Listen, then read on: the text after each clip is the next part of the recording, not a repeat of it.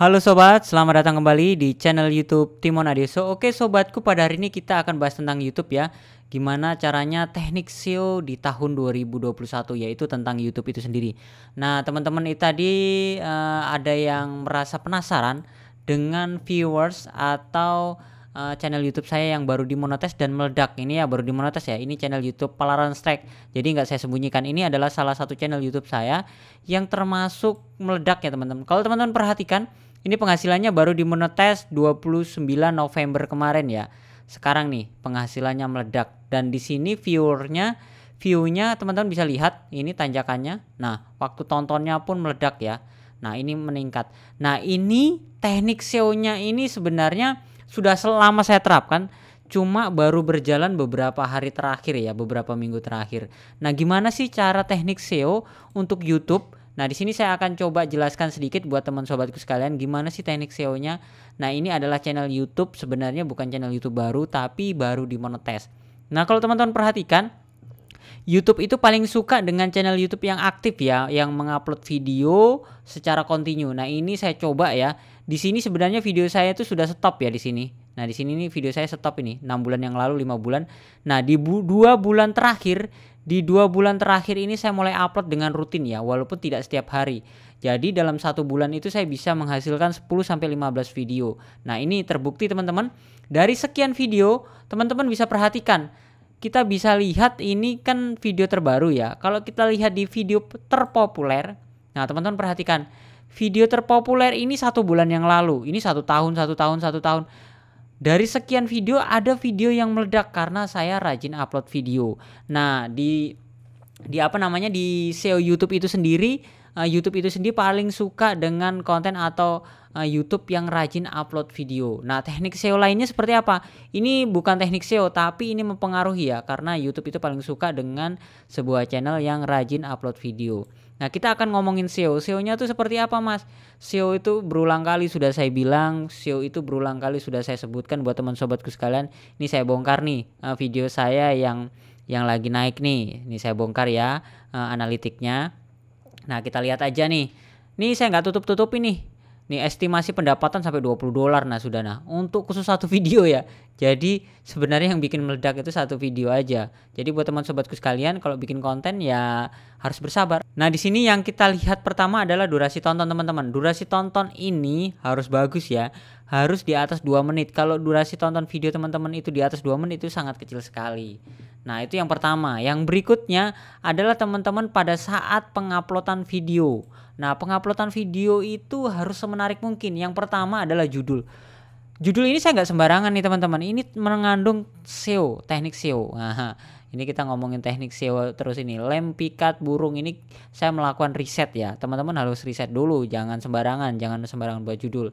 Dan teman-teman isikan deskripsinya. Ini udah berulang kali nih saya sebutkan teknik SEO-nya yang YouTube itu. Habis itu thumbnailnya, buat thumbnail semenarik mungkin. Nah ini walaupun gak ada tulisannya, tapi thumbnailnya menarik.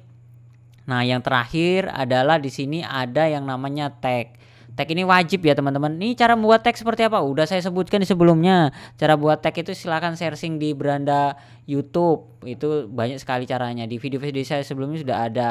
Nah ini standar semua nih settingannya. Nah kalau teman-teman perhatikan di, di layar akhir. Di layar akhir ini saya bikin. Nah teman-teman wajib dibikin juga nih layar akhirnya. Supaya video teman-teman juga bisa apa namanya uh, meningkat yang lainnya. Ini di kartu kartu juga dibikin. Nah ini teknik SEO ini adalah sebagian dari teknik SEO jadi buat teman sobatku sekalian uh, ada yang bertanya mas saya mau belajar nih teknik SEO yang sebenarnya dibantu supaya apa uh, video atau channel saya itu Mas Timon koreksi kesalahannya di mana? Nah ini seperti Bang Denjisi kalau Bang Denjisi itu kan ngajak ngopi kalau saya ngajak ngopi juga kalau teman-teman mau belajar, teman-teman mau saya ajari teknik SEO uh, eh, secara pribadi, silahkan masuk aja ke Instagram. Silahkan DM Instagram saya namanya Timon Adiuso. Ini nama Instagram saya. Silahkan teman-teman DM kalau teman-teman penasaran mau belajar. Karena di sini uh, status saya, ini ya status saya, ini yang komentar banyak sekali. Nah, sebenarnya mereka penasaran, banyak yang inbox. Uh, channel baru dimonetes langsung meledak viewnya mungkin karena hoki atau karena teknik SEO berhasil. Yang pasti targetnya karena saya mau belajar DM ya. Jadi buat teman sobatku sekalian silahkan kalau yang mau belajar dengan saya pribadi silahkan DM harganya murah sekali sekali bayar teman-teman bisa belajar seumur hidup. Itu seperti itu. Jadi bukan hanya vid bukan hanya channel YouTube saya Palaran Strike ya. Ini Palaran Strike khusus mancing ya. Ini khusus mancing semua, satu nest khusus mancing dan jebakan-jebakan burung. Nah, ada channel YouTube saya lainnya juga yang berhasil meledak. Teman-teman bisa perhatikan, enggak asing ya. Value tutorial ini sudah meledak duluan sebelum Palaran Strike. Kalau teman-teman perhatikan, di sini video saya yang nontonnya sampai 700, 300 ribu, 306 ribu dan subscribernya sudah 35 ribu. Ini saya murni menggunakan teknik SEO dan konten-konten saya ini konten sederhana semua. Saya tidak karena saya bukan artis, makanya saya menggunakan teknik SEO. Jadi buat teman sobatku sekalian yang masih penasaran mau belajar, silahkan DM Instagram saya. Oke, untuk berikutnya, kalau teman-teman penasaran kembali, Mas, sebenarnya teknik SEO rahasianya itu seperti apa? Teman-teman juga bisa melakukan penyetingan. Nah, penyetingan itu seperti apa? Di sini ada penyesuaian, di sini ada setelan. Nah, di penyesuaian teman-teman di sini harus disetting nih. Jangan sembarangan nih. Teman-teman setting nih untuk apa namanya cuplikannya ini teman-teman setting brandingnya. Nah, ini gambar profil pasti sudah ada ya. Ini watermarknya silahkan dibikin. Info dasar. Nah, info dasarnya ini deskripsinya diisi.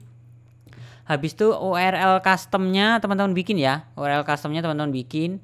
Nah, di sini sebenarnya tambahkan link juga karena ini di sini belum saya tambahkan link. Berikutnya adalah setelan di paling bawah ini. Nah, di setelan di sini teman-teman juga bisa lakukan penyetelan di channelnya. Nah, ini paling penting teman-teman karena saya adalah konten mancing dan konten jebakan burung.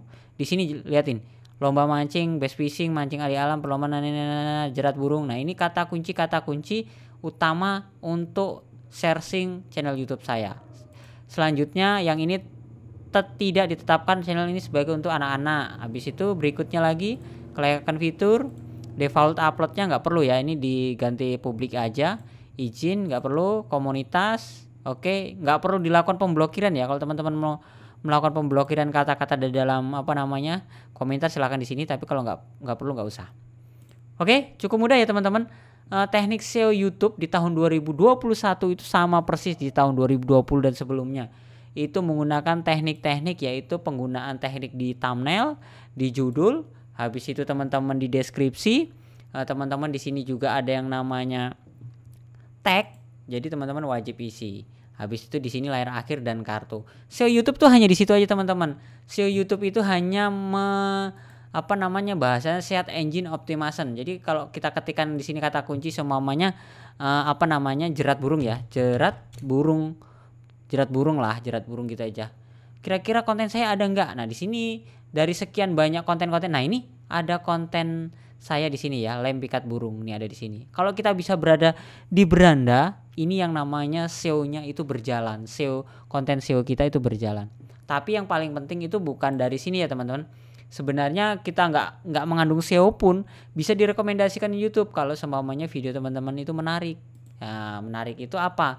Menarik itu teman-teman rajin upload video rajin upload video seperti channel YouTube saya ini rajin upload video walaupun satu dua hari tiga hari empat hari lima hari walaupun saya bingung mau bikin konten apa seadanya sebisanya kalau bisa mungkin tiap hari kalau nggak bisa ya seminggu empat kali atau seminggu tiga kali Oke sobatku mungkin itu saja informasi tutorial saya hari ini. Semoga bermanfaat. Jangan lupa like, komen, dan subscribe. Dan sampai jumpa di video saya selanjutnya.